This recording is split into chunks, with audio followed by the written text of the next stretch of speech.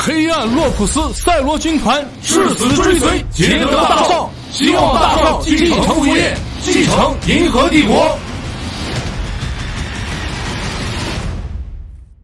捷德，隐忍，我不在的这段时间，你要在光之国好好过日子。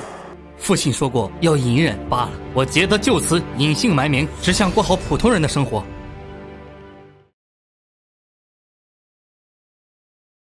今天是您的十四万岁生日大寿，光之国有幸被凯撒公子看中，凯撒公子为希卡利和您送来百亿订单，而且整个宇宙顶级的大人物都会来为您祝寿，真是可喜可贺，可喜可贺呀！哈哈，过奖了，过奖了。我们这些小辈的给您老献上了一份大礼，看，这就是我们家祖传的欧布圣剑，好好，真好啊！阿姨，家父托我给您送来一件千兆格斗仪。什么千兆格斗仪？就这，你就送来一个破棍子，赝品，假货！这可是货真价实的千兆格斗仪，是我老爹贝利亚亲自给我的。杰德，你一个穷乡僻壤里出来的，三年了，自己亲爹都没见过一面，如今入赘我光之国，还是个废物，妄图假冒凯撒公子，我光之国的脸都被你给丢尽了。我说的可是真的，你还净拿这些假货来糊弄我！今天开始，把杰德给我逐出光之国，别后悔！奥特之王到！你们说要逐出谁呀？见过奥特之王，免礼免礼！哼，奥王在此居然还如此嚣张，如此大不敬，就该逐出光之国！大胆！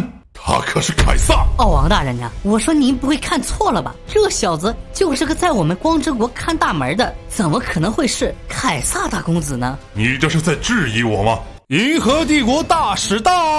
为庆祝奥特之母十五万岁大寿，凯撒公子派我送来百亿订单。太好了，这样一来，我们奥特一族就能晋升宇宙世家。这百亿订单可是我送来。你什么你？还想继续冒充凯撒公子吗？给我滚出光之国！大胆，居然敢羞辱凯撒公子！这百亿订单就此作废。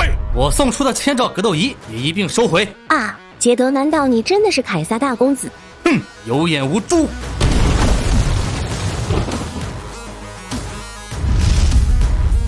居然是黑暗煞气啊！黑暗煞气袭体，我看您老人家恐怕没有几日的活头了。光之国一众居然敢当众羞辱凯撒大公子，如何处置？请凯撒大公子吩咐。